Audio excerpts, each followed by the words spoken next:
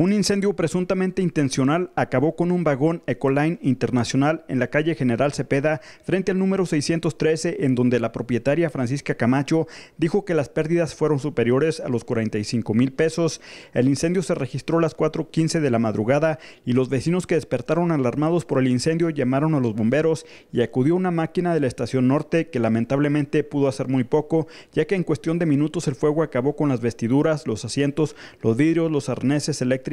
el motor, la pintura y prácticamente consumió la unidad. Francisca Camacho dijo que está convencida de que el incendio fue intencional y pidió a las autoridades que busquen a los responsables. Con la cámara de Gerardo López para RCG informó Eduardo Sarabia.